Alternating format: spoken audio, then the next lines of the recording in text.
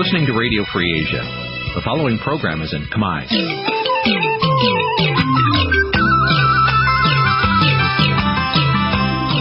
នេះជាកម្មវិធីផ្សាយវិទ្យុអាស៊ីសេរីនេះជាកម្មវិធីផ្សាយរបស់វិទ្យុអាស៊ីសេរីជាភាសាខ្មែរវិទ្យុអាស៊ីសេរីសូមស្វាគមន៍លោកអ្នកនាងទាំងអស់ពីរដ្ឋធានី Washington នៃសហរដ្ឋអាមេរិក បាទខ្ញុំបាទទីនសាការីយ៉ាសូមជម្រាបសួរលោកនាងអ្នកស្ដាប់អស៊ីសេរីទាំងអស់ជាទីគោរពរាប់អានខ្ញុំបាទសូមជូនកម្មវិធីផ្សាយសម្រាប់យប់ថ្ងៃអង្គារ4កើតខែចែកឆ្នាំរកានៅបស័កពុទ្ធសករាជ2561ត្រូវនៅថ្ងៃទី20ខែមីនាគ្រិស្តសករាជ2018បាទជាដំបូងនេះសូមអញ្ជើញលោកនាងស្ដាប់ព័ត៌មានប្រចាំថ្ងៃលោកហ៊ុនសែនជាប់ណាត់ថ្នាក់ជាមេដឹកនាំផ្ដាច់ការយូរជាងគេលើពិភពលោកអាញាធរគម្រាមចាប់អ្នកតវ៉ារឿងដីធ្លីនៅ នៅពីឃុំពីធ្នូខេត្តក្រចេះដាក់ពន្ធនាគារបើសិនជានៅតែតតវ៉ាទាមទាររកសំណងទៀតរួមនឹងព័ត៌មានសំខាន់សំខាន់មួយចំនួនទៀត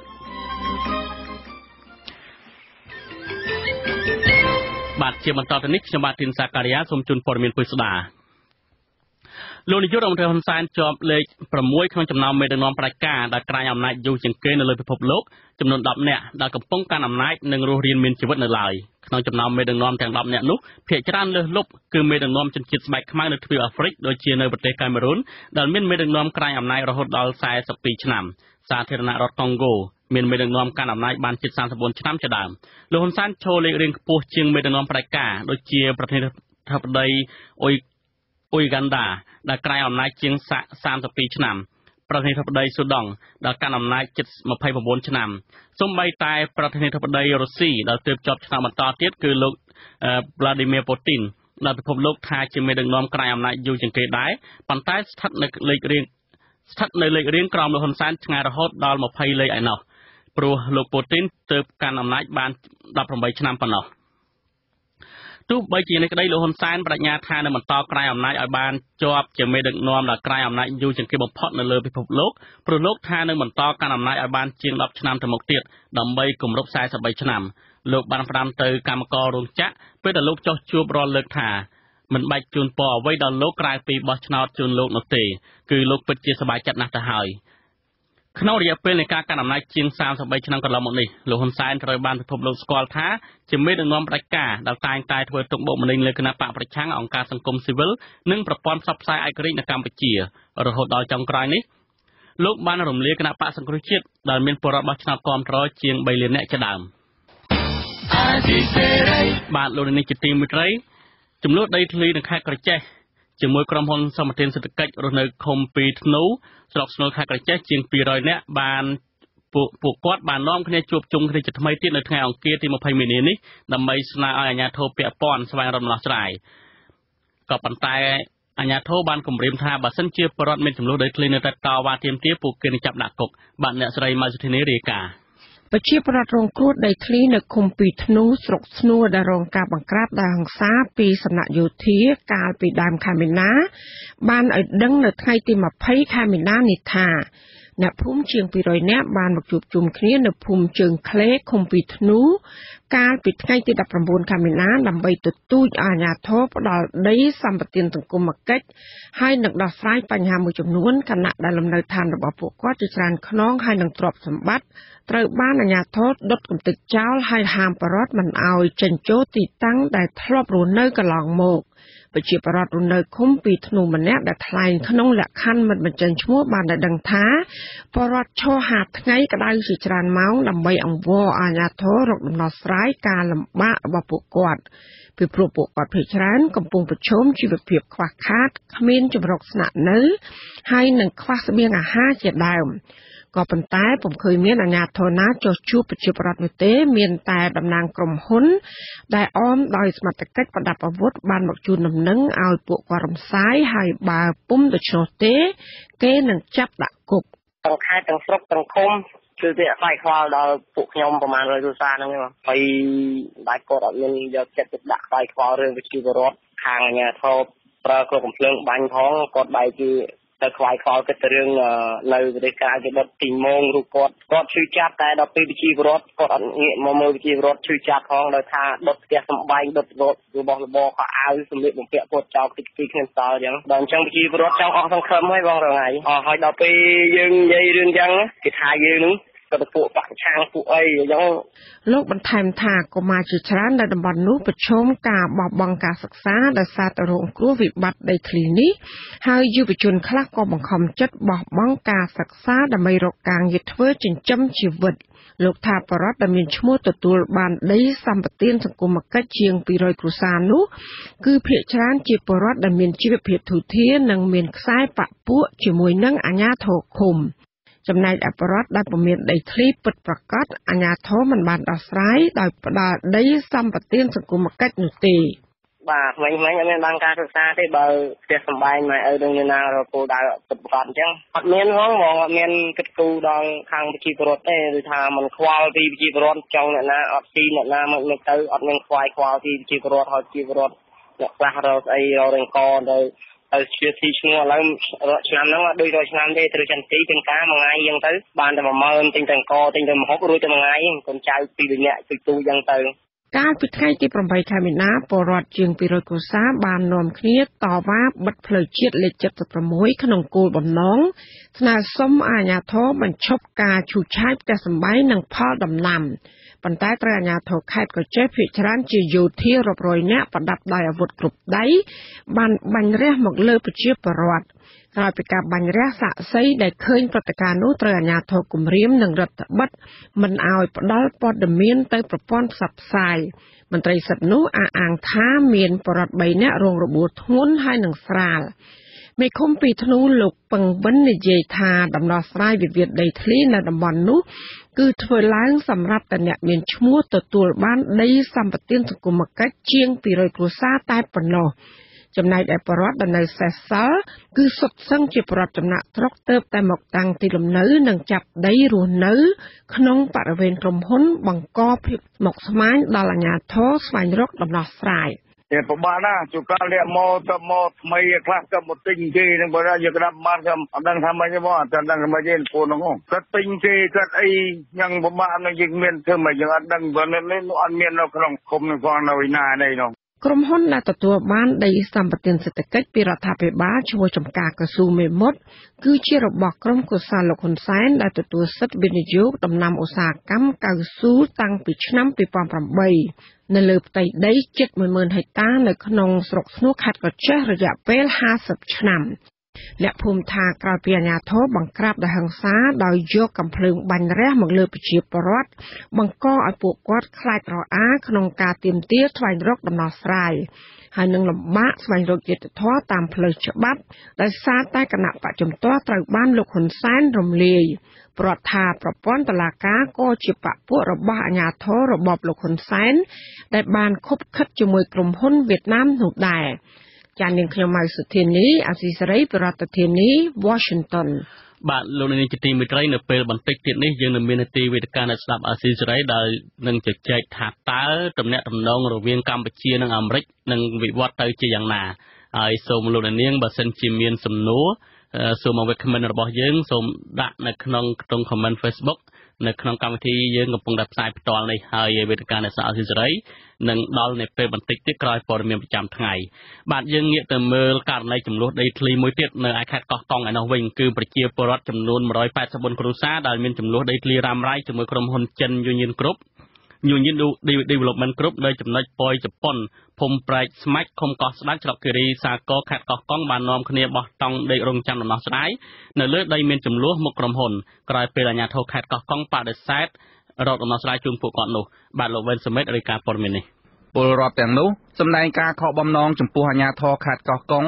ដែលឆ្លើយបដិសេធថាគ្មានសំណងសម្រាប់ពួកគាត់ជាម្ចាស់ដីដែលត្រូវក្រុមហ៊ុនបណ្ដេញចេញទាំងបង្ខំ។ ប្រជាពលរដ្ឋដែលរងគ្រោះដោយការដុតបំផ្លាញផ្ទះកាលពីឆ្នាំ2010និង2011ជារឿយៗបានប្រមូលផ្ដុំគ្នាតវ៉ាទាមទារដីរបស់ពួកគាត់មកវិញ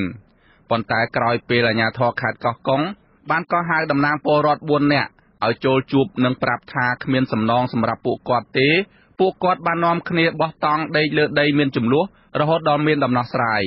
ពលរដ្ឋរងគ្រោះដីធ្លីម្នាក់ក្នុងចំណោម184គ្រួសារ លោកអង្គវិរៈឲ្យដឹងថាមូលហេតុដែលពួកគាត់នាំគ្នាបោះតង់ដេកនៅមុខក្រុមហ៊ុន Union Development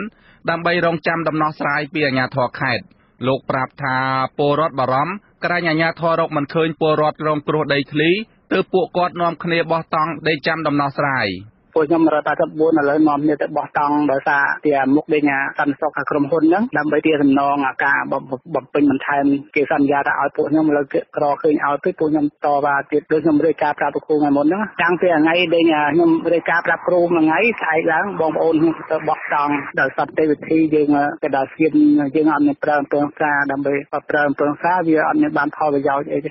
កាលពីថ្ងៃទី15មីនា ពលរដ្ឋមានចំនួនដីធ្លីទាំង184គ្រួសារបានប្រមូលផ្ដុំគ្នាដើម្បីតវ៉ាទាមទារដីរបស់ពួកគេមកវិញកាលនោះពួកគេសម្ដែងការខកចិត្តចំពោះអាជ្ញាធរខេត្តកោះកុងដែលមិនព្រមមកជួបពួកគេតាមសន្យា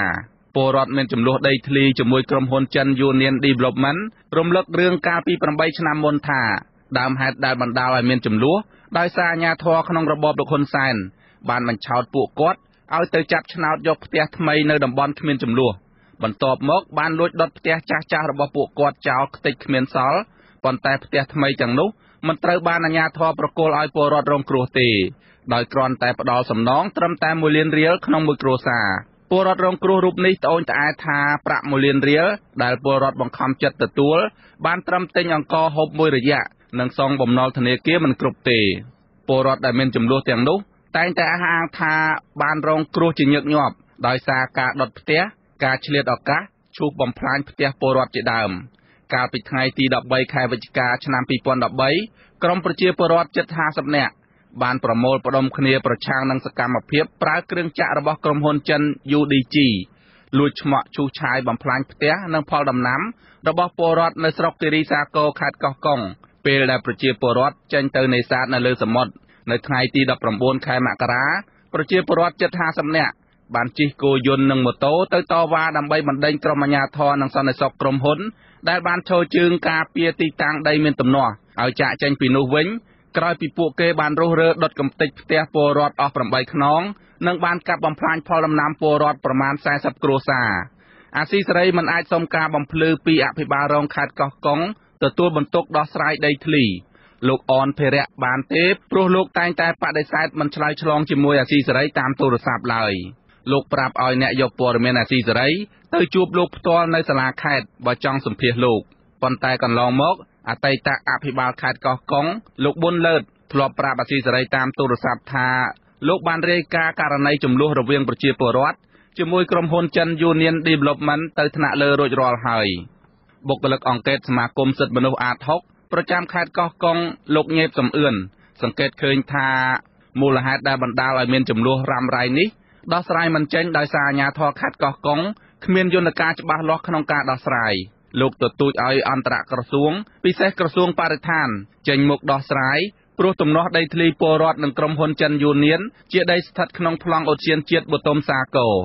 មិនអាញាធររងទុកទេគឺប្រជាពលរដ្ឋជាអ្នករងទុកហើយយើងដឹងហើយថាការរងទុកនិងការខ្វះខាតរបស់ប្រជាពលរដ្ឋមិនខ្វះខាតត្រឹមតែមួយថ្ងៃឬពីរថ្ងៃចឹងពួកគាត់រងការខ្វះខាតរៀងរាល់ថ្ងៃគ្រប់ពេលវេលាទាំងអស់របស់យើងគ្រាន់តែដោះស្រាយឲ្យទៅរួចពីមាត់ហើយមកអាក់ខ្លួនឯងមកសម្រាប់នៅក្នុងម៉ាស៊ីនត្រជាក់វិញអានឹងវានឹងផ្ដល់ភាពអយុត្តិធម៌ដល់ពលរដ្ឋហើយចឹងខ្ញុំអង្គការសង្គមស៊ីវិលទៅគួយឲ្យទៅគួយទៀតស្នើសុំឲ្យជាពិសេសទៅដល់អន្តរក្រសួងដែលមានក្រសួងបរិស្ថានជាប្រធានហើយនិងអាជ្ញាធរខេត្តដែលមានតួនាទីក្នុងការដោះស្រាយជូនប្រជាពលរដ្ឋលោកមេតាដោះស្រាយបញ្ចប់ជាមួយនឹងប្រជាពលរដ្ឋ184គ្រួសារហ្នឹងទៅកុំទុកឲ្យនៅរ៉ាំរ៉ៃទៅទៀតហើយពួកគាត់បោះតង់ប៉ុណ្ណឹងហើយពលរដ្ឋដែលរងគ្រោះដីធ្លីអះអាងថារយៈពេលជាច្រើនឆ្នាំចាប់តាំងពីអាញាធរក្នុងរបបលោកហ៊ុនសែនបោកបញ្ឆោតពួកគាត់ហើយដុតផ្ទះបង្ខំឲ្យពួកគាត់ចាក់ចែងពីដីមានចំនួនជីវភាពរស់នៅរបស់ពួកគាត់បានធ្លាក់ដុនដាប ដោយសារគ្មានដីធ្វើស្រែក្រុមហ៊ុនបិទផ្លូវមិនអនុញ្ញាតឲ្យពួកគាត់ឡើងទៅភ្នំដាំដំណាំដូចមុនជំពាក់បំណុលធនាគារគ្រប់គ្រួសារហើយយុវជនពេញកម្លាំងបានចំណាក់ស្រុកជាបន្តបន្ទាប់ទៅធ្វើពលករនៅប្រទេសថៃខ្ញុំបាទវ៉ែនសុមេតអាស៊ីសេរីពីរដ្ឋធានី Washington បាទលោកនាងជាទីមេត្រីងាកទៅឯខេត្តសៀមរាបឯនោះវិញគឺតុលាការខេត្តសៀមរាបនៅថ្ងៃទី20មីនានេះកាត់ទោសជនជាតិអង់គ្លេសម្នាក់ពាក់ព័ន្ធនឹងករណីរំអាហារភីហើយជាប់ពន្ធនាគាររយៈពេល1ឆ្នាំ។ ជនជាតិអង់គ្លេសម្នាក់នេះមានឈ្មោះ Daniel John អាយុ31ឆ្នាំត្រូវបានអាជ្ញាធរឃាត់ខ្លួនក្នុងចំណោមជនបរទេសចំនួន10នាក់នៅក្នុងករណីបង្ក្រាបកន្លែងជប់លៀងនៅអាងហែលទឹកក្នុងភូមិគ្រឹះមួយនៅក្រុងសៀមរាបកាលពីខែមករាកន្លងទៅក្រោយមកជនបរទេសទាំងនេះត្រូវបានអាជ្ញាធរដោះលែងវិញលើកលែងតែជនជាតិអង់គ្លេសម្នាក់នេះតែប៉ុណ្ណោះក្នុងពេលសវនាការជន ជនបរទេសរំនេះអះអាងថាខ្លួនពុំបានប្រព្រឹត្តសកម្មភាពអនាចារផ្លូវភេទឬរួមអាហារភាសនៅក្នុងពេលជប់លៀងនោះទេដោយគ្រាន់តែបង្ហោះរូបថតនៅលើ Facebook ដើម្បីឲ្យមានមនុស្សចូលរួមច្រើនក្នុងពិធីជប់លៀងនៅអាងហែលទឹកនោះតែប៉ុណ្ណោះយ៉ាងណាក៏ដោយជនជាប់ចោតរូបនេះបានសុំទោសចំពោះករណីប្រព្រឹត្តកំហុសខុសឆ្គងដោយអចេតនានេះ។ ព្រះរាជអាជ្ញាអមសាលាដំបងខេត្តសៀមរាបលើកឡើងថារូបភាពដែលជនបរទេសរូបនេះបានបង្ហោះគឺមានបំណងលើកទឹកចិត្តឲ្យប្រព្រឹត្តអំពើផ្លូវភេទបែបអនាចារហើយប៉ះពាល់យ៉ាងធ្ងន់ធ្ងរដល់វប្បធម៌និងប្រពៃណីខ្មែរតុលាការរកឃើញថាជនបរទេសជាប់ចោតរូបនេះបានប្រើប្រាស់រូបភាពនិងសម្ភារៈអាហារភាសហើយកាត់ទោសឲ្យជាប់ពន្ធនាគាររយៈពេល1ឆ្នាំក៏ប៉ុន្តែជនជាប់ចោតរូបនេះ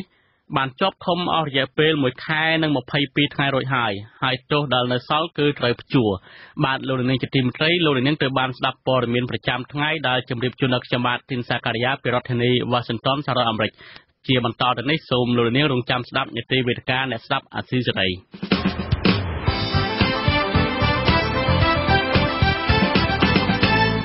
បាទជាបន្តទៅនេះគឺជានីតិអ្នកស្ដាប់អាស៊ីសេរីបាទ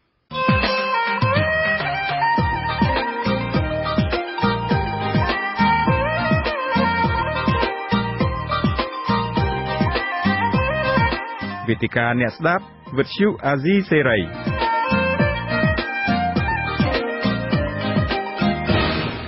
បាទខ្ញុំបាទទីនសាការីយ៉ាសូមជម្រាបសួរលោកនាងអ្នកស្ដាប់ទាំងអស់ជាទីគោរពរាប់អានជាថ្មីម្ដងទៀត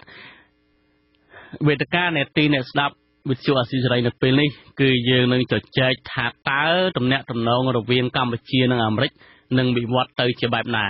ហើយវាគ្មានតែចូលរួមតាមប្រព័ន្ធ Skype ទាំងពីររូបរបស់យើងនៅពេលនេះគឺយើងមានលោកបណ្ឌិតច័ន្ទវិបុលលោកគឺជាអ្នកជំនាញខាងវិទ្យាសាស្ត្រនយោបាយនិងអភិបាលកិច្ចបាទសូមជម្រាបសួរលោកបណ្ឌិតច័ន្ទវិបុលបាទសូមជម្រាបសួរលោកទិនសិការីយ៉ាបាទបាទវាគ្មិនរបស់យើងមួយរូបទៀតគឺលោកបណ្ឌិតមាសនេះលោកគឺជាអ្នកខ្លំមើលផ្នែកអភិវឌ្ឍសង្គមនិងជាអ្នកវិភាគនយោបាយផងដែរបាទសូមជម្រាបសួរលោកបណ្ឌិតបាទ បាទសូមជម្រាបសួរបាទបាទបាទអរគុណណាស់ដែលលោកទាំងពីរបានចូលរួមបកស្រាយនៅក្នុងនេតិវេទិកានៃស្ដាប់អសិរ័យរបស់យើងនៅពេលនេះបាទលោកនាងជាទីមេត្រីដោយលោកនាងបានដឹងហើយគឺថាក្នុងរយៈពេលចុងក្រោយនេះទំនាក់ទំនងរវាងកម្ពុជានិងអាមេរិកត្រូវបានគេមើលឃើញថាកំពុងតែប្រឆាម្ដងបន្តិចម្ដងបន្តិចជាពិសេសគឺរបបក្រុងភ្នំពេញគឺតែងតែចោតប្រកាន់ជោហែទៅលើសហរដ្ឋអាមេរិកពិសេសគឺចោតប្រកាន់ទៅលើ ការទម្លាក់ក្របក្នុងសម័យសង្គ្រាម ថាអាមេរិកទម្លាក់ក្របនៅក្នុងប្រទេសកម្ពុជាធ្វើឲ្យប្រដ្ឋខ្មែរស្លាប់ហើយសុំឲ្យលើកលែងបំណុលដល់កម្ពុជាជំពាក់អាមេរិកនៅក្នុងរបបលន់នល់ជាដើមហើយអ្វីដែលចោតប្រកាន់កាន់តែធ្ងន់ធ្ងរថែមទៀតគឺការប្រពៃថ្មីថ្មីនេះលោកនាយករដ្ឋមន្ត្រីហ៊ុនសែនបានចោតប្រកាន់នៅឯប្រទេសអូស្ត្រាលីនៅពេលលោកបានចូលរួមកិច្ចប្រជុំកំពូលអាស៊ានអូស្ត្រាលីនោះគឺថា អាមេរិកគឺជាអ្នកនៅពីក្រោយនៃឃាតកម្មលោកមនិតកែមលីដែលជាឃាតកម្មមួយកក្រើកនៅទូទាំងប្រទេសកម្ពុជានិងពិភពលោកហើយដោយសារតែអាមេរិកមើលឃើញថារដ្ឋាភិបាលកំពុងតែបំផ្លាញលទ្ធិប្រជាធិបតេយ្យមិនគោរពសិទ្ធិមនុស្សចាប់ចងអ្នកប្រឆាំងចាប់ចងសកម្មជនដេកឃ្លីបរិស្ថានអាមេរិកក៏បានដាក់លក្ខខណ្ឌបិទ ចិត្តការឬក៏វីសាមិនអោយមន្ត្រីរដ្ឋាភិបាលចូលរួមបំផ្លាញលទ្ធិប្រជាធិបតេយ្យចូលទឹកដីអាមេរិកទេហើយអាមេរិកថែមទាំងពមៀនថាគេនឹងពិចារណាទៅលើការអនុគ្រោះពន្ធរួមទាំងសហគមន៍អឺរ៉ុបផងបើសិនជារដ្ឋាភិបាលរបបលោកហ៊ុនសែននៅតែបំផ្លាញលទ្ធិប្រជាធិបតេយ្យបាទដែលជាដំបូងនេះខ្ញុំសូមជម្រាបសួរលោកមនិតច័ន្ទវិបុលថាតើ អឺដំណាក់កាលបច្ចុប្បន្ននឹងទៅមុខទៀតតំណាក់តំណងរវាងកម្ពុជាអាមេរិកនឹងទៅជាយ៉ាងណាដែលលោកមើលឃើញនោះបាទអរគុណមុននឹងឈានទៅដល់ចំណុចហ្នឹងខ្ញុំគ្រាន់តែចង់ពុះបញ្ជាក់មួយចំណុចដែលសំខាន់ដែលជនជាតិខ្មែរយើងនាំគ្នាមើលទាំងអស់គ្នានោះគឺការពឹងពាក់លើខ្លួនឯងរបស់ជនជាតិកម្ពុជាយើងមើលឃើញនៅក្នុងប្រវត្តិសាស្ត្រនៅពេលដែលកម្ពុជា បាត់បង់ការពឹងពាក់លើខ្លួនឯង យើងឲ្យអំណាចទៅចិនយើងឲ្យអំណាចទៅសហរដ្ឋអាមេរិកអញ្ចឹងឯងគឺមេគានយោបាយរបស់យើងឬក៏តាក់ទិកនយោបាយរបស់យើងតែងតែដើរទៅតាមគន្លងនៃខ្សែញាក់របស់បរទេសចំណុចនេះជារឿងមួយដែលសំខាន់ណាស់ដែលដើមចេញពីកន្លែងហ្នឹងអញ្ចឹងតកតងនឹងកិច្ចទំនាក់ទំនងរវាងកម្ពុជាជាមួយនឹងសហរដ្ឋអាមេរិកគឺយើងគួរតែចាប់ដើមជជែកគ្នាបកស្រាយអំពីភាពជាម្ចាស់របស់កម្ពុជាសិន សម្រាប់ខ្លួនខ្ញុំក្នុងនាមជាជនជាតិកម្ពុជាម្នាក់ខ្ញុំចង់ឃើញមានទំនាក់ទំនងស្មើមុខស្មើមាត់មានភាពប្រហាក់ប្រហែលគ្នារវាងជាតិសាសន៍ពីរផ្សេងគ្នារវាងកម្ពុជាហើយនិងសហរដ្ឋអាមេរិកក៏ដូចជាកម្ពុជាជាមួយចិនដែរយើងចង់ឃើញអំណាចរវាងកម្ពុជានិងសហរដ្ឋអាមេរិកស្មើគ្នាមិនមែនមានជាការទំនាក់ទំនងបែបជាលក្ខណៈអ្នកផ្ដល់ជំនួយអ្នកទទួលជំនួយអ្នក អ្នកកំណត់ខ្សែញាក់ហើយនិងអ្នកដើរតាមខ្សែញាក់ទេអញ្ចឹងប្រសិនបើយើងឆ្លៀតឱកាសមើលប្រវត្តិសាស្ត្របន្តិចយើងមើលនៅមុនសតវត្សសប្ជាពិសេសនៅឆ្នាំ1917នៅពេលដែលសម័យសង្គមរាស្ត្រនិយមបានប្រកាសថាខ្លួនបានចូលបកសម្ព័ន្ធនៅក្នុងកុម្មុយនីសនិយមអញ្ចឹងយើងឃើញថាកម្ពុជាយើងមានសង្គ្រាមកើតឡើងនៅក្នុងឆ្នាំ1970 នៅពេលដែលកម្ពុជាមានទំនាក់ទំនងជ្រុលហួសហេតុពេកជាមួយសហរដ្ឋអាមេរិកក៏កម្ពុជាទទួលរងផលប៉ះពាល់ការបង្កើតសង្គ្រាមនៅក្នុងកម្ពុជាដែរអញ្ចឹងប្រសិនបើយើងទាញសមត្ថកម្មវាយកមកពិចារណាសួរថាតើការទំនាក់ទំនងរបស់កម្ពុជាជាមួយនឹងសហរដ្ឋអាមេរិកមានទម្រង់យ៉ាងដូចផ្ដេចសពថ្ងៃហើយថាតើវាគួរតែមានទម្រង់យ៉ាងម៉េចមានស្ថានភាពយ៉ាងម៉េចក្នុងអនាគតនោះគឺគឺផ្ដើមចេញអំពី ឯកភាពជាតិរបស់កម្ពុជាបើសិនបើយើងមើលហេតុផលដែលនាំឲ្យមានទំនាក់ទំនងរហូតដល់ពេលនេះគឺដោយសារតែកម្ពុជាមានការប្រេះស្រាំមួយគឺប្រេះស្រាំផ្នែកនយោបាយដែលជាគន្លឹះមួយឲ្យសហរដ្ឋអាមេរិកយកចំណុចទាំងអស់ហ្នឹងទៅធ្វើការចរចាជាមួយនឹងកម្ពុជាហើយដោយសារតែការងាកចេញអំពីគន្លងនៃប្រជាធិបតេយ្យច្រើនពេកក៏នាំឲ្យជំហររបស់កម្ពុជាហាក់ដូចជា កាត់ដាច់អំពីតំណែងតំណងដែលធ្លាប់តែកម្ពុជាមានជាមួយសហរដ្ឋអាមេរិកសប្តាហ៍ថ្ងៃនេះហាក់ដូចជាដើរទៅគន្លងនៃតំណែងតំណងជាមួយចិនច្រើនជាងសហរដ្ឋអាមេរិកអញ្ចឹងសួរថាតើនៅពេលដែលយើងដើរទៅតាមខ្សែញាក់របស់បរទេសសួរថាតើអ្នកណាខាតសម្រាប់ខ្ញុំមើលអំពីទំនាក់ទំនងនៃភាពសហប្រតិបត្តិការនៅពេលដែលយើងដើរទៅតាមខ្សែញាក់របស់បរទេសច្រើនពេក ដោយសារតែការភ័យខ្លាចអញ្ចឹងឯងញាក់ដែលខាត់បងគឺជនជាតិកម្ពុជាគឺប្រទេសកម្ពុជាហើយប្រសិនបើយើងមើលពីអនាគតជាទូទៅបើសិនបើយើងពិនិត្យមើលនៅក្នុងបណ្ដាប្រទេសជាច្រើនទោះបីប្រទេសណាក៏ដោយដែលខ្ញុំតាមដានប្រវត្តិសាស្ត្រសូម្បីជាជនអឺថ្ងៃនេះគឺគេបានឲ្យតម្លៃទៅលើបាជាច្រើនជាងបរទេសនេះយើងមើលចំណុចហ្នឹង អញ្ចឹងយើងមើលតំណែងតំណងនេះហាក់ជាជាជាជាការទាញប្រយោជន៍ពីប្រទេសដែលធំធំហ្នឹងអញ្ចឹងចង់មិនចង់នៅពេលដែលយើងពឹងពាក់ទៅលើបរទេសកាន់តែច្រើននៅពេលដែលយើងអត់ធ្វើតាមអ្នកដទៃគេគេធ្វើខ្សែញាក់អញ្ចឹងឯងគឺគឺទំនាក់ទំនងវាអាចបាត់បង់ច្រើន បាទអញ្ចឹងបញ្ហាសំខាន់រដ្ឋាភិបាលនៅពេលបច្ចុប្បន្នហ្នឹងគឺគឺមានថាដើរតាមខ្សែញាក់របស់ចិនហើយកាលណាដើរតាមខ្សែញាក់របស់ចិនវាធ្វើឲ្យមិនមានឯកភាពជាតិទេ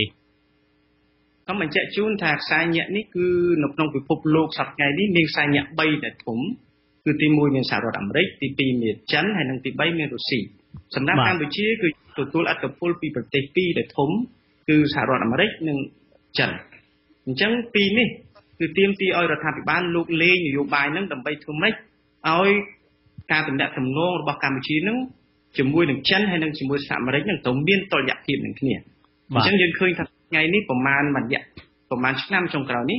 ជាពិសេសនៅក្នុងឆ្នាំ2017នេះហើយនិងឆ្នាំ2018នេះគឺតុល្យភាពនៃតំណាក់តំណងរវាងកម្ពុជាជាមួយសហរដ្ឋអាមេរិក ហើយនឹងតំណែងតំណងជារវាងកម្ពុជាជាមួយនឹងចិនហាក់ដូចជាមិនសូវមានតុល្យភាពគ្នាអញ្ចឹងឯងបើសិនជាយើងមើលវាអាចឈានទៅដល់ប៉ះពាល់នៃកិច្ចសហប្រតិបត្តិការរវាងកម្ពុជានិងសហរដ្ឋអាមេរិកបាទមុននេះខ្ញុំងាកទៅលោកមិត្តនេះចង់សួរលោកមួយសំណួរទៀតអ្វីជាកត្តាចម្បងដែលធ្វើអរដ្ឋាភិបាលក្រុងភ្នំពេញនៅពេលបច្ចុប្បន្ន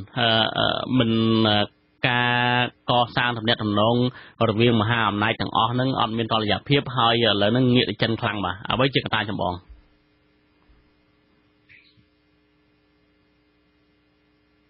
ហៅលោកលោកបាទលឺបាទ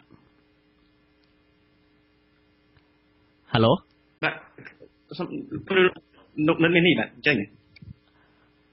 សម្រាប់ខ្ញុំការមើលរបស់ខ្ញុំគឺដោយសារតែ ភាពជាម្ចាស់របស់កម្ពុជា នៅលើវិស័យចំនួន2វិស័យទី1គឺវិស័យនយោបាយហើយនៅវិស័យទី2គឺវិស័យសេដ្ឋកិច្ចបាទបើសិនបើយើងមើលប្រហែលឆ្នាំចុងក្រោយនេះកម្ពុជាហាក់ដូចជាទទួលរងឥទ្ធិពលច្រើនអំពីសាធារណរដ្ឋចិនប៉ុន្តែប្រសិនបើយើងមើលតំណែងតំណងរវាងកម្ពុជាជាមួយនឹងសហរដ្ឋអាមេរិកជាមួយនឹងប្រទេសដែលប្រកាន់លទ្ធិប្រជាធិបតេយ្យគឺយើងកើនឡើងនៅ ក្នុងចន្លោះពីឆ្នាំ1993រហូតមកដល់ជិតបំណាច់ឆ្នាំ2017ប៉ុន្តែតំណែងតំណងរវាងកម្ពុជាជាមួយនឹងចិនហាក់ដូចជាកើនឡើងចាប់តាំងពីមានការឆ្លុះទាស់តែងគ្នានៃបកធំធំនៅក្នុងសង្គមកម្ពុជានេះជាហេតុផលសំខាន់ពីរដែល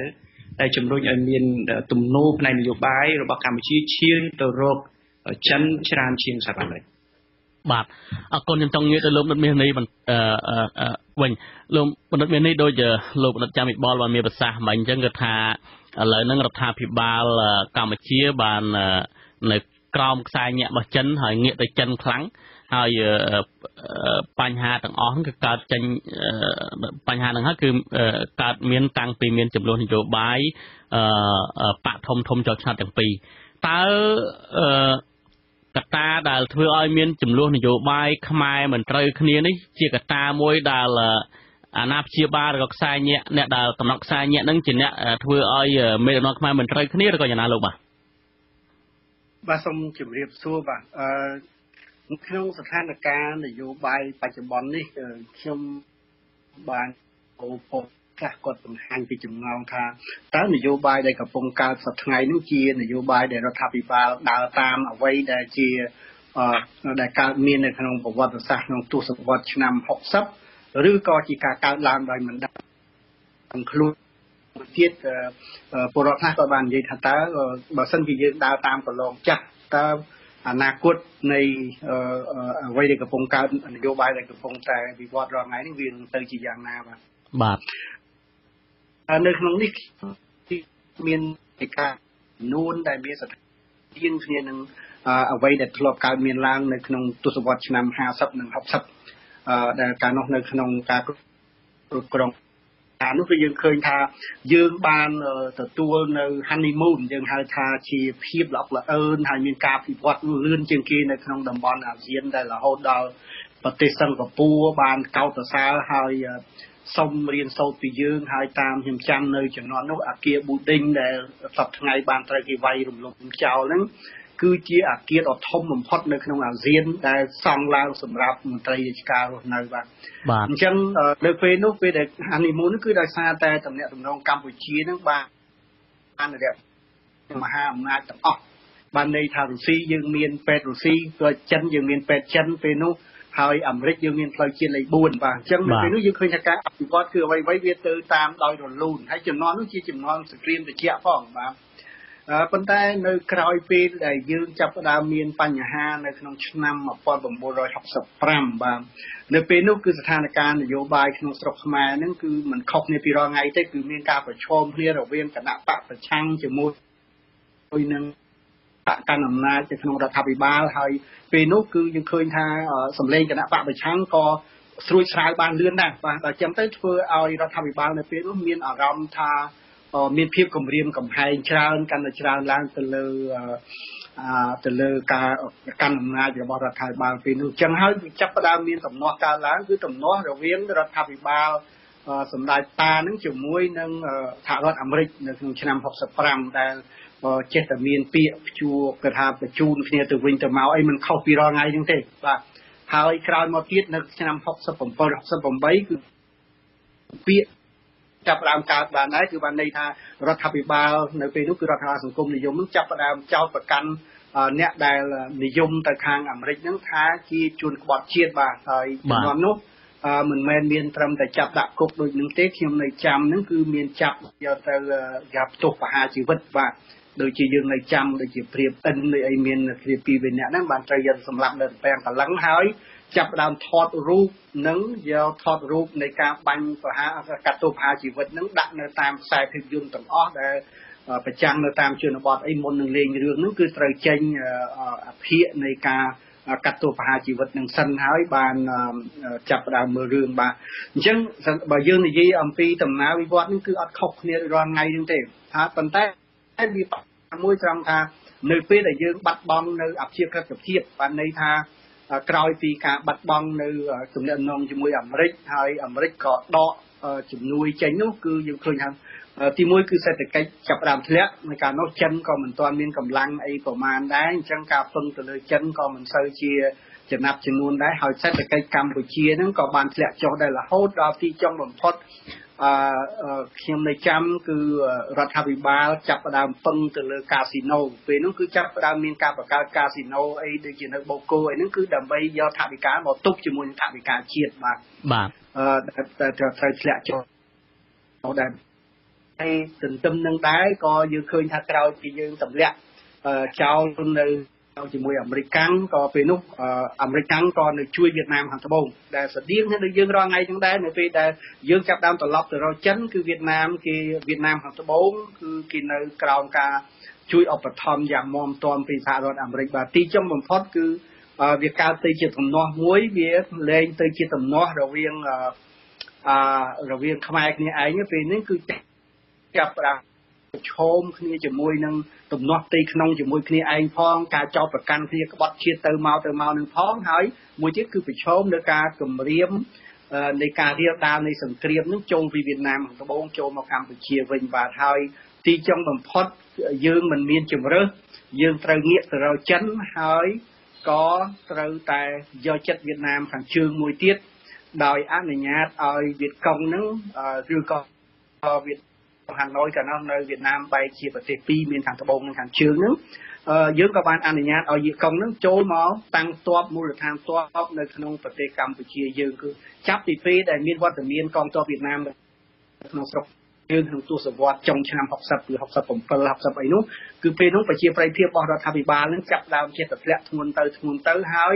ធ្វើឲ្យរដ្ឋាភិបាលនៅពេលនោះរដ្ឋាភិបាលសង្គមនិយមនឹងគឺកាន់តែព្រួយបារម្ភកាន់តែខ្លាំងឡើងខ្លាំងឡើង អឺរហូតដល់នៅក្នុងដំណាក់គឺអាមេរិកក៏ចាប់ដើមដកទ័ពចេញពីដកសំទុះដកស្ថានទូតរបស់ខ្លួននឹងចេញពីទីក្រុងភ្នំពេញក្រោយពីមានការបញ្ឆេះនៅបាតកម្មកំហឹងនៅមុខស្ថានទូតអាមេរិកបាទអញ្ចឹងបើយើងមកប្រៀបធៀបជាមួយការវិវត្តរាល់ថ្ងៃនេះគឺ យើងឃើញថាយើងមកដល់ដំណាក់កាលមួយដែលតំណែងតំណងរវាងអាមេរិកនិងកម្ពុជានឹងហាក់ដូចជាឈានចូលទៅក្នុងស្ថានភាពស្តៀងគ្នានៅឆ្នាំ68 69បាទដែលពេលនោះគឺរឿងរ៉ាវនឹងកើតអត់ទេចប់ឯមានរឿងមួយផុតរឿងមួយដល់រឿងមួយទៀតផុតនៅរឿងមួយដល់រឿងមួយទៀតហើយពេលយើងមានអព្រឹត្តិការណ៍ចោតប្រកាន់ពីរឿងកែមលីអីនេះខ្ញុំនឹក វាមានរឿងមួយដូចជានិស្សិតខ្ញុំបញ្ចាំពីប្រវត្តិនៃរឿងរ៉ាវប៉ុន្តែរឿងតូចហ្នឹងវាคล้ายទៅជាការបង្កកំហឹងឲ្យនិស្សិតហ្នឹងនាំគ្នាអឺដោយសារពេលនោះក៏មានរដ្ឋាភិបាលនៅពីក្រោយខ្នងដែរគឺប្រឆេះឲ្យទៅបាតកម្មនៅខាងទូតអាមេរិកបាទទីចុងបំផុតសហរដ្ឋអាមេរិកអាមេរិកមិនអាចទ្រាំនៅទៀតបានក៏សម្រេចដកទូតចេញពីកម្ពុជាហើយក៏វាកើតទៅជារឿងមានការលូកដៃទៅលើអឺ លោកដៃទៅការការរៀបដាលនៃអធិបុលរបស់អាមេរិកហ្នឹងចូលមកក្នុងកងទ័ពដែលកាលនោះមានលោកសេនាប្រមុខលន់ណុលហ្នឹងដែលជាអ្នកចំណិតជាមួយសម្ដេចតាហ្នឹងក៏បានធ្វើបដកម្មឬនៅទូទាំងប្រទេសហើយបានបោះឆ្នោតទម្លាក់សម្ដេចស៊ីនោះនៅក្នុងឆ្នាំនៅក្នុងថ្ងៃទី18មីនានឹងទៅបាទរឿងវាកើតឡើងអញ្ចឹងប៉ុន្តែយើងយើងមិនទាន់ឃើញសញ្ញាថាវាឈានទៅដល់កន្លែងនោះទេប៉ុន្តែយើងដល់នៅក្នុងកន្លែងមួយដែល ទំនាក់ទំនងរវាងអាមេរិកហើយនិងកម្ពុជានឹងកាន់តែមានភាព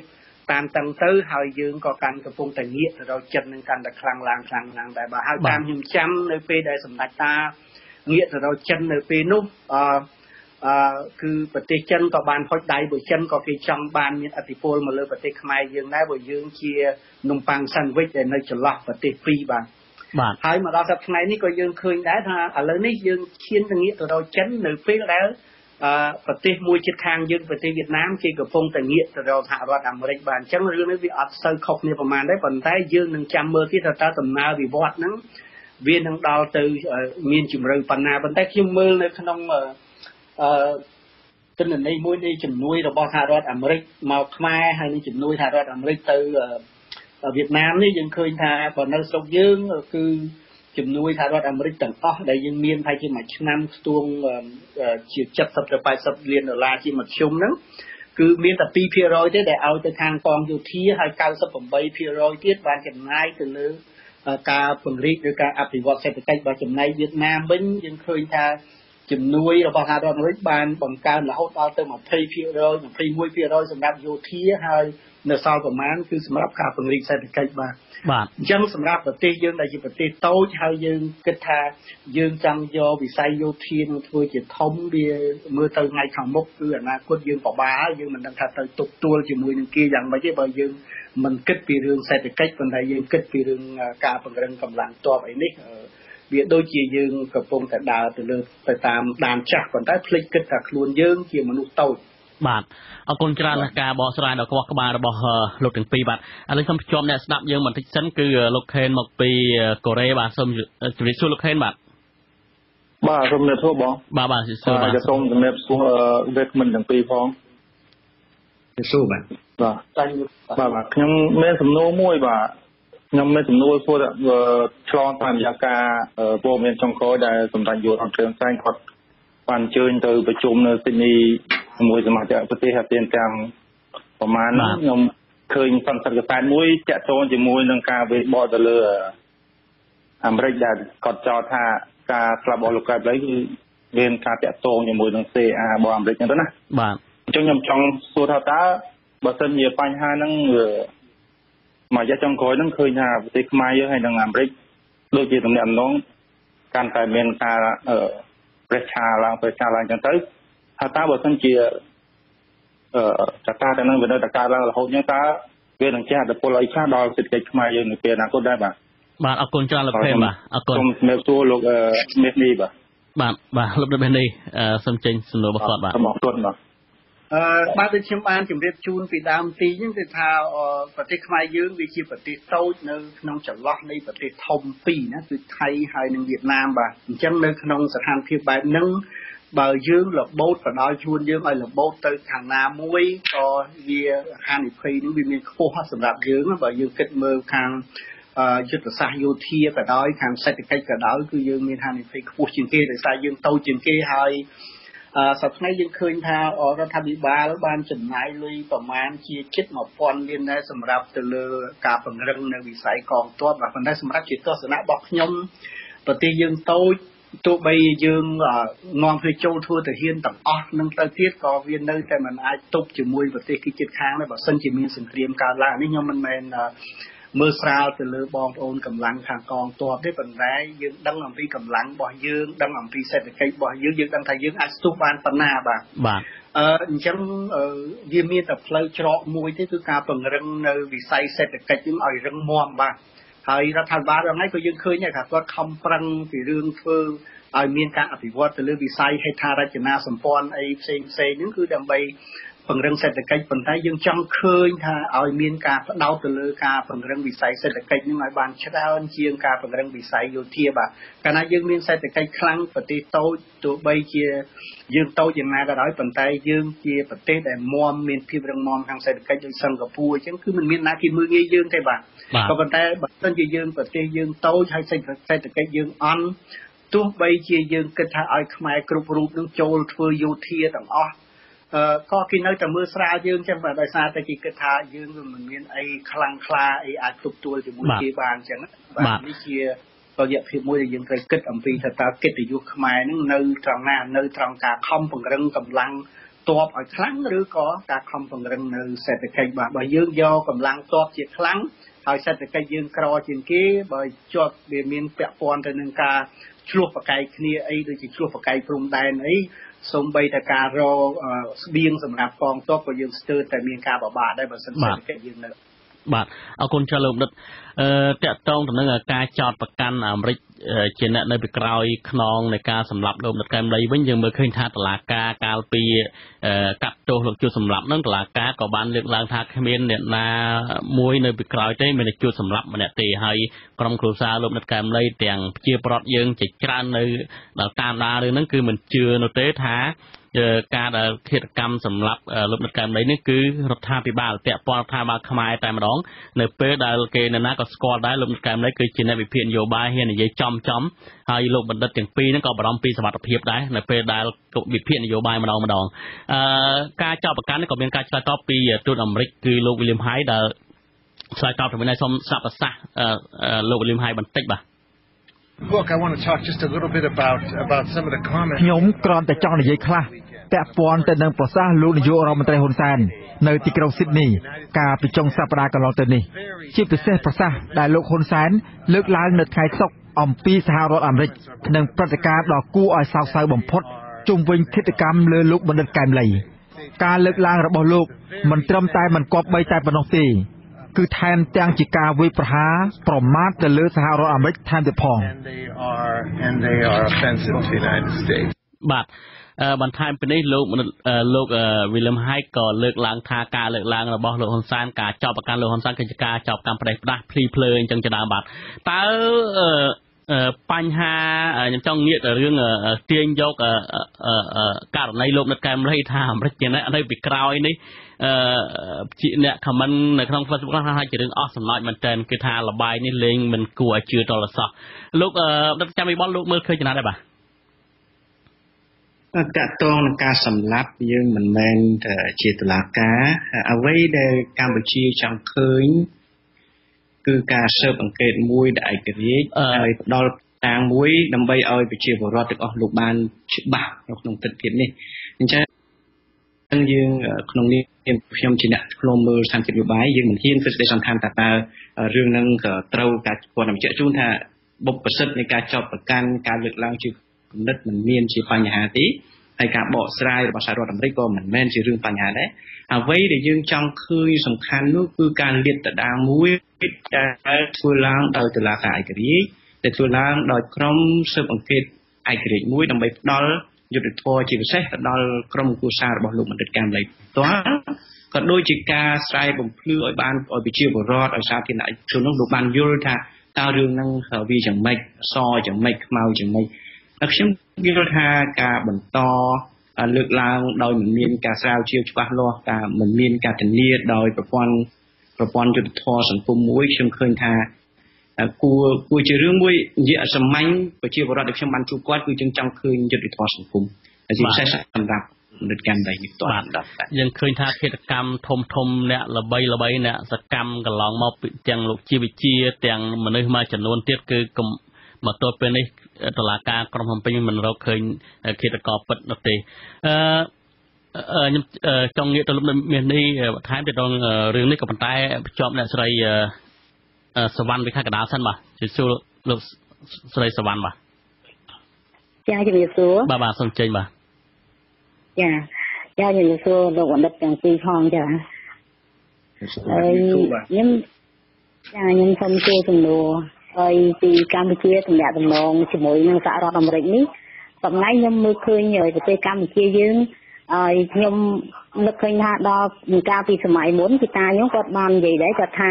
សហរដ្ឋអាមេរិកទំនាក់ទំនងជាមួយកម្ពុជាយើងតែងតែមានការចោទប្រកាន់ពីកម្ពុជាយើងដូចថាកម្ពុជាយើងនៅក្រោមខ្សែញាក់របស់កុម្មុយនីសដូចជាចិនវៀតណាមអីចឹងណាហើយអញ្ចឹងធ្វើឲ្យកម្ពុជាយើងលងនៅទឹកប្រាក់ឬក៏ជាបោះអីដែលថាជាលៀបសការៈអីហ្នឹងតិចតួចហ្នឹងផ្លេចខ្លួនហើយហើយអាងទៅចាប់ទៅសត្រូវជាមួយអាមេរិកហ្នឹងដើម្បីដូចថាប្រទេសកុម្មុយនីសដែលគេខ្សែគប់ជាមួយកម្ពុជាយើងគេចង់បានផលប្រយោជន៍មួយពីកម្ពុជាយើងប៉ុន្តែគេដូចថាឃើញអាមេរិកនៅដាក់ទូតនៅស្រុកខ្មែរយើងដូចថាហ្នឹងហាត់ទៅជាភ្នែកជាច្រមុះអីទៅភ្នែកទៅច្រមុះអញ្ចឹងណាអញ្ចឹងខ្ញុំខ្ញុំចង់សួរទៅលោកបណ្ឌិតទាំងពីរថានេះមកពីគេមិនចង់ទំនាក់ទំនងជាមួយអាមេរិកសហរដ្ឋអាមេរិកនេះ ហើយដោយសារតែហើយប្រទេសកុម្មុយនីសដែលគេខ្សែគប់ហ្នឹងគេមិនចង់ឲ្យមានវត្តមានសហរដ្ឋអាមេរិកព្រោះជាផ្នែកជាចំោះដែលគេអាមេរិកយកចិត្តទុកដាក់ការពារឬក៏មើលធ្លាប់មើលនៅប្រទេសទាំងអស់នោះការរំលោភសិទ្ធិកម្ពុជាយ៉ាងម៉េចនោះតើនេះជាការ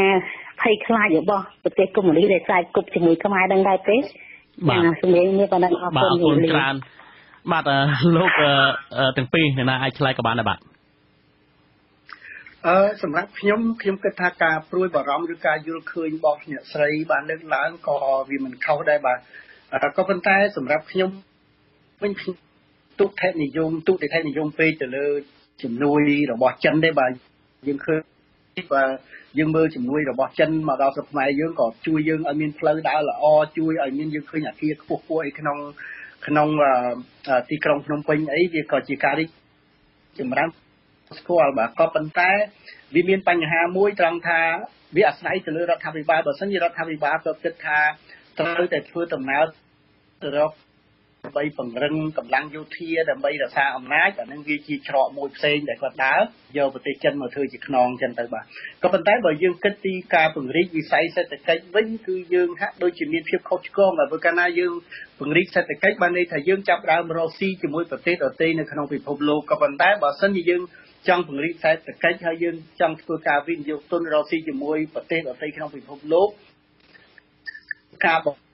ទៅជាមួយនឹងអ្នកដតីពិសេសអ្នកមានអីនៅជុំវិញពិភពលោកហ្នឹងគឺធ្វើឲ្យយើងមានការពិបាកក្នុងការពង្រឹងនៅវិស័យសេដ្ឋកិច្ចយើងណាបាទហើយយើងឃើញស្រាប់ថាកាលណារកស៊ីបើយើងឆ្លោះគ្នាជាមួយអ្នកជិតខាងយើងឆ្លោះគ្នាជាមួយគេគ្រប់គ្នាអានោះរបររកស៊ីយើងក៏វាអត់ទៅមុខរួចដែរបាទអញ្ចឹងវាអាស្រ័យទៅលើបំណងរបស់រដ្ឋាភិបាលទេបើរដ្ឋាភិបាលគាត់ គិតថាគាត់ចង់ដឹកនាំទៅរករបបមួយដែលគិតថាពង្រឹងកម្លាំងប្រដាប់អាវុធដើម្បីការពារអំណាចអាហ្នឹងវាជារឿងមួយប៉ុន្តែបើនិយាយអំពីចង់ដើរទៅរកការឲ្យការរីកលូតលាស់សេដ្ឋកិច្ចវិញអានឹងត្រូវតែរកច្រកផ្សេងសម្រាប់ដើរអានឹងបានអាចជួយប្រទេសយើងនឹងឲ្យវាដើរទាន់គេប្រទេសជិតខាងបាទបាទអរគុណខ្ញុំចង់ងាកទៅលោកមនិតចាំលេខបលយើងមើលដោយលោក មាសនេះបានមានប្រសាសន៍មកអញ្ចឹងថាតើការដើររដ្ឋាភិបាលងាកទៅចិនហើយកំពុងតែបង្កើតបញ្ហាប្រឆាជាមួយអាមេរិកនៅពេលនេះដើម្បីរក្សាចង់បន្តកាន់អំណាចទៅមុខទៀតឬក៏ចង់ពង្រីកសេដ្ឋកិច្ចត្រង់ចំណុចនេះគឺចម្លើយរបស់ប្រជាប្រដ្ឋខ្លួនឯងនឹងក៏លើកឡើងដែរអ្នកសាមញ្ញក៏ចេះវិភាគឃើញថារដ្ឋាភិបាលចង់បន្តអំណាចរបស់ខ្លួនអ្វីដែលជាកត្តាសំខាន់ខ្ញុំចង់ងាកទៅករណីលោកនិតកែមលី ឃាតកម្មនេះនៅពេលណាក៏ដឹងថាលោកនៃបកអាក្រាតរដ្ឋាភិបាលនិយាយការពិតហើយចុងក្រោយគឺនិយាយបកស្រាយទៅលើរបាយការណ៍របស់ Global Witness ដែលនិយាយអំពីខ្សែស្លាយខ្សែហ៊ុនដែលមាន business មានចំនួនក្តោបក្តាប់ទាំងអស់នៅកម្ពុជាហើយបញ្ហាសំខាន់រដ្ឋាភិបាលក៏រឹតបន្តឹងសិទ្ធិសេរីភាពបញ្ចេញមតិរហូតដល់ជួបជុំមិនបានអឺ បិទប្រព័ន្ធផ្សព្វផ្សាយថែមទៅទៀតនោះបញ្ហាសំខាន់បើសិនជាក្នុងករណីរដ្ឋាភិបាលធ្វើបែបនេះតើជោគជ័យទេ នៅបើយើងមើលនៅក្នុង ចំនួនសង្គមរាជនិយម ចំនួនមុនគឺថាបើសិនជារដ្ឋាភិបាលសម័យនោះចាប់ទៅចិនហើយបោះបង់អាមេរិកក៏ប៉ុន្តែ ជាបរដ្ឋសម័យនោះគឺគ្មានដឹងព័ត៌មានអីច្រើនទូលំទូលាយដោយពេលបច្ចុប្បន្នទេហើយឥឡូវហ្នឹងគឺខាងអឺរ៉ុបទាំងអាមេរិកផងកំពុងតែដាក់លក្ខខណ្ឌទៅរដ្ឋាភិបាលកម្ពុជាទៀតយើងមើលអំពីប្រសិទ្ធភាពរបស់រដ្ឋាភិបាលបើទិសដៅចង់បានអំណាចនឹងជោគជ័យទេបាទ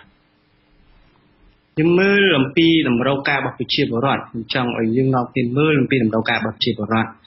អ្វីដែលប្រជាពលរដ្ឋចង់ឃើញអ្វីដែលប្រជាពលរដ្ឋចង់ដឹងនោះគឺអព្យាក្រឹតភាពនៃប្រព័ន្ធនយោបាយរបស់ខ្មែរឆ្លើយតបទៅនឹង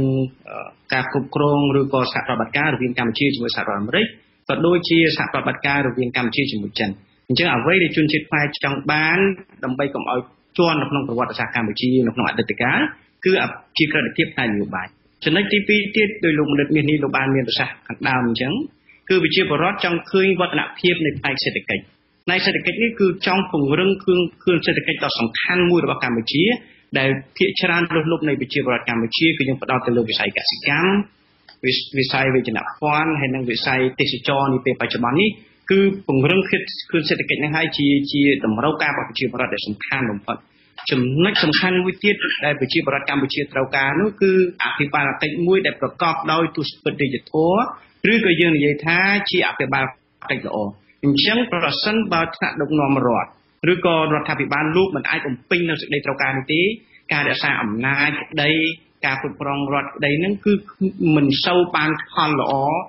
សម្រាប់ខ្លួនឯងផ្ទាល់ហើយក៏មិនបានទទួលការគ្រប់គ្រងពីប្រជាពលរដ្ឋអញ្ចឹងការយល់ដឹងការយល់ឃើញការឆ្លើយតបទៅនឹងតម្រូវការហើយនឹងសេចក្តីត្រូវការរបស់ប្រជាពលរដ្ឋដែលខ្ញុំបានបញ្ជាក់ខាងដើមនេះ គឺជាហេតុផលសំខាន់ណាស់ដែលរដ្ឋាភិបាលត្រូវតែធានាដើម្បីបន្តការអំណាចក្តីពីព្រោះថាជនជាតិណាក៏ដោយដើម្បីផ្ដល់សេចក្តីទុកចិត្តទៅឲ្យមានដឹកនាំមួយគឺត្រូវតែមានដឹកនាំនោះបំពេញលក្ខខណ្ឌនៃតម្រូវការរបស់ខ្លួន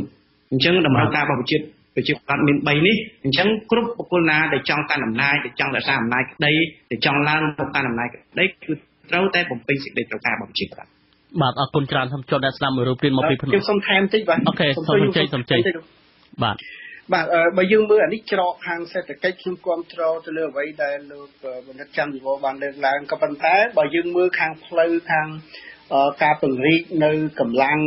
ប្រដាប់អាវុធដើម្បីការពារអំណាចនៅក្នុងស្ថានភាពនឹងបើយើងរៀនសូត្រពីប្រទេសដទៃតែយើងដើរមិនត្រូវក៏វាអាចឈានទៅរកការគ្រោះថ្នាក់ដូចតែគ្នាទេបាទព្រោះអីចេះបានខ្ញុំថាគ្រោះថ្នាក់ដូចគ្នាជួនកាល ការពង្រឹងទៅលើកម្លាំងប្រដាប់អាវុធវាមិនមែនរំពឹងតែទៅលើថាយើងមានរថក្រោកប៉ុណ្ណេះរយគ្រឿងមានយន្តហោះប៉ុណ្ណេះគ្រឿងទេប៉ុន្តែបើសិនទៅហ៊ានគ្នាអត់មានបាយហូបប្រាក់ខែហូបមិនគ្រប់ជួនកាលពេលខ្លះអាការបែកបាក់គ្នាក្នុងកងទ័ពគឺវាកើតឡើងដោយសារតែការរៀបចំមិនត្រឹមត្រូវជួនកាលនៅក្នុងសង្គមខ្លះចឹងនាំវាតម្លើងពីបនស័កឲ្យកងយោធាចឹងទៅដល់ពេលតម្លើងវាមានការចំណែនគ្នានេះខ្ញុំមិន មិននិយាយពីរឿងស្ថានភាពស្រុកយើងទេប៉ុន្តែនៅក្នុងស្រុកដទៃដែរប៉ុន្តែរដ្ឋាភិបាលក៏អាចរៀនសូត្រពីគេនឹងដែរមិនមែនបានន័យថាឲ្យតែយើងសង្ឃឹមទៅលើការយកកម្លាំងប្រដាប់អាវុធមកធ្វើជាខ្នងហើយសិតតែបានជោគជ័យជួនកាលគឺកបិតនេះវាត្រូវមុតមកខ្លួនឯងវិញដោយសារតែការរៀបចំនឹងវាមិនបានត្រឹមត្រូវជួនកាលកើតទៅធ្វើឲ្យវាមានតែរត់ក្រោះវាមានតែយន្តហោះប៉ុន្តែទាហានគ្នាអត់មានអីហូបក៏វាកើតទៅជារឿង មិនល្អហើយរហូតដល់មានការបះបោអីក៏ថាបានដែរនៅក្នុងប្រទេសខ្លះបានអញ្ចឹងអានេះក៏រដ្ឋាភិបាលក៏ត្រូវតែមើលដែរមិនមែនបានន័យថាយើងងាកទៅរកកន្លែងនោះហើយយើងគិតថាផ្លូវនេះល្អអញ្ចឹងត្រូវតែធ្វើទៅតាមអ្វីដែលយើងនឹកឃើញ ពេលខ្លះវាជាមធ្យោបាយមួយគឺដើរទៅជន់កបិតខ្លួនឯងក៏អាចថាបានដែរនេះមិនស្គាល់យើងបានបាទសរុបសេចក្តីមកវិញទេសនៈរបស់លោកបណ្ឌិតទាំងពីរលើកឡើងថាទោះបីជារ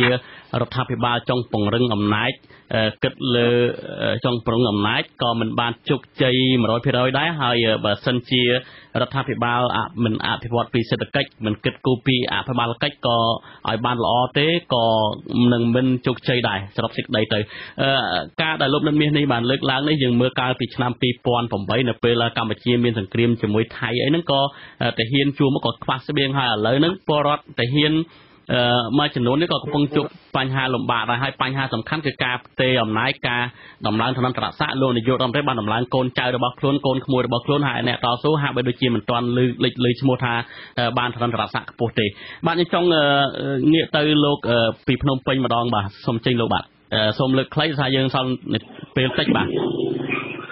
បាទជំរាបសួរបាទសម្រាប់ខ្ញុំខ្ញុំគិតឃើញថា ខ្ញុំផ្ដោតទៅលើការដឹកនាំរបស់រាជរដ្ឋាភិបាលរបស់យើងដែលគាត់មិនបានអនុវត្តដោយខ្ជាប់ខ្ជួននៅពីអត្តន័យនៃខ្លឹមសារលទ្ធិប្រជាធិបតេយ្យបាទពលទៅវិញគឺគាត់អនុវត្តទៅខុសពីហ្នឹងលទ្ធិប្រជាធិបតេយ្យគឺមានន័យថាយកផ្លុតកណិតរបស់ប្រជាពលរដ្ឋជាធំតែសម្រាប់គាត់វិញបើសិនជាប្រជាពលរដ្ឋប្រជាពលរដ្ឋមានផ្លាកកំណត់ខុសពីគាត់គាត់ចោទថាជាបកជាក្រុមបពប្រឆាំងហើយជាក្រុមបះបោជាបដិវត្តពណ៌ ហើយបើផ្សោតទៅលើការអនុវត្តចាក់ស្ដែងវិញទៅតាមមូលដ្ឋានគឺធ្វើទៅតាមបណ្ដាញប្រព័ន្ធពុករលួយដោយប្រព័ន្ធរបៀបដឹកនាំតាមប្រជាធិបតេយ្យគឺការស្នើសុំរបស់ប្រជាពលរដ្ឋអាជ្ញាធរគ្រប់មូលដ្ឋានទាំងអស់គឺត្រូវតែធ្វើតាមប្រជាពលរដ្ឋបើសិនជាអាជ្ញាធរឬក៏ថ្នាក់ដឹកនាំនៅជាន់ក្រោមគាត់មិនបានធ្វើតាមទេប្រជាពលរដ្ឋគឺគាត់មានសិទ្ធិ មានសិទ្ធិដកតំណែងទៅតាមការបោះឆ្នោតនៅក្នុងមូលដ្ឋានឬក៏ឃុំសង្កាត់តែធ្វើទៅវិញអឺការដឹកនាំសប្តាហ៍គឺអំណាចគឺនៅលើអាជ្ញាធរមិនមែននៅលើប្រជាពលរដ្ឋទេ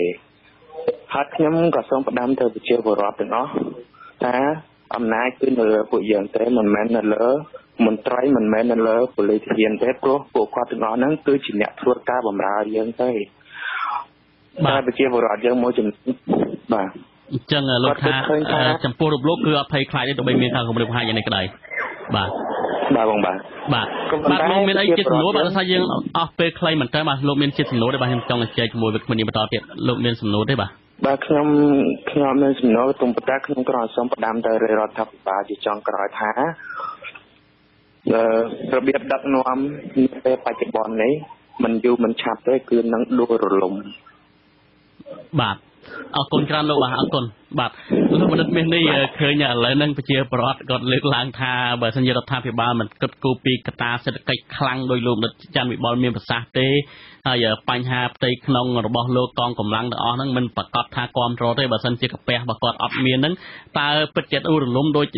ការលើកឡើងរបស់លោកមិញទេបាទ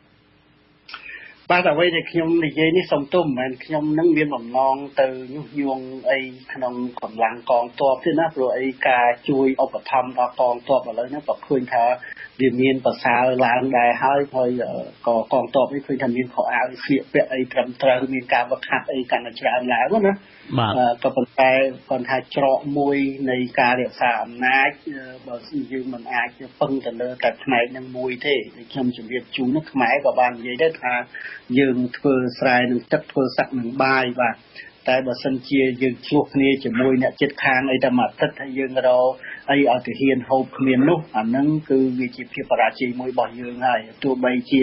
យើងមានប្រព័ន្ធឃោសនាយ៉ាងណាក៏ដោយក៏ភ្លើង60កណ្ដុងវាចេញទៅម្ដងអរគុណលោកដិតថាយើងយើងបាទយើងខ្លីខ្ញុំចង់ទុកឱកាសម្នាក់មនទីបាទលោកដិតច័ន្ទវិបុលអ្វីជាដំណោះស្រាយចម្បងសម្រាប់ពេលនេះដើម្បីតំណែងល្អទាំងអស់គ្នារដ្ឋាភិបាលមានតំណែងដល់រដ្ឋបាលភាពរៀងប្រទេសមហាអំណាចទាំង3នោះបាទ ខ្ញុំនៅតែសុំសំណូមពររដ្ឋាភិបាលលោកមានអភិជាក្រិតភាពនយោបាយហើយចំណុចទី2ទៀតគឺត្រូវពង្រឹងគ្រឹះសេដ្ឋកិច្ចកម្ពុជាហើយចំណុចទី3ទៀតត្រូវពង្រឹងអភិបាលកិច្ចល្អនៅគ្រប់កម្រិតហើយជាពិសេសនេះគឺកាត់បន្ថយអំណាចរបស់បកមកលើរដ្ឋហើយផ្ដល់អំណាចនឹងទៅឲ្យអាជ្ញាធរដើម្បីបម្រើប្រជាពលរដ្ឋពិតប្រាកដបាទលោកលោកមាននេះបាទអ្វីជាដំណោះស្រាយល្អបាទរឿងសំខាន់មួយ ទៀតដែលមានស៊ីជម្រៅជាងនឹងទៀតគឺការសម្រុះសម្រួលឡើងវិញរវាងខ្មែរគ្នាឯងមួយចំនួនរវាងខ្មែរគ្នាឯងនឹងឯងដែលនាំទៅឈានទៅរកការរត់ទៅពឹងគេពឹងឯងរៀងខ្លួននឹងគឺដោយសារតែចំនួនគ្នាឯងបានអញ្ចឹងខ្ញុំចង់ឲ្យឃើញអ្នកនយោបាយខ្មែរចាប់ផ្ដើមពិចារណាឡើងវិញហើយចាប់ផ្ដើមផ្ដល់ភាពកក់ក្ដៅឲ្យគ្នាទៅវិញទៅមកអ្នកឈ្នះក៏ឈ្នះដោយកិត្តិយសហើយអ្នកចាញ់ក៏អាចរស់នៅសុខនៅលើទឹកដីដ៏តូចមួយនេះទាំងអស់គ្នា អានឹងខ្ញុំគិតថាខ្មែរយើងនឹងនឹងមានសន្តិភាពនិរន្តរ៍ណាប៉ុន្តែបើសិនជាយើងគ្រាន់តែចាំឲ្យគេគៀបសង្កត់យើងហើយយើងរត់ទៅពឹងគេសងខាងនេះខ្ញុំគិតថាវាមិនមែនជាដំណោះស្រាយសម្រាប់អនាគតស្រុកទេសយើងនេះសម្រាប់រយៈពេលវែងទេបាទបានតែដោះរួចមួយគ្រាមួយគ្រាបាទបាទ បាទដោយសារយើងមកដល់ទីបញ្ចប់ហើយខ្ញុំសូមអរគុណលោកវិក្កាមិនទាំងពីរហើយសូមអភ័យទោសចំពោះអ្នកស្ដាប់ដែលបានដាក់សំណួរចង់ខលសួរលោកវិក្កាមិនទាំងពីរដែរប៉ុន្តែដោយសារយើងមិនមានឱកាសបាទខ្ញុំបាទទីនសាការីយ៉ានិងសហការីសូមអរគុណលោកទាំងពីរសូមអរគុណប្រិយមិត្តអ្នកស្ដាប់អសិរ័យទាំងអស់បាទសូមជម្រាបលាបាទសូមជម្រាបលាបាទសូមជម្រាប thank you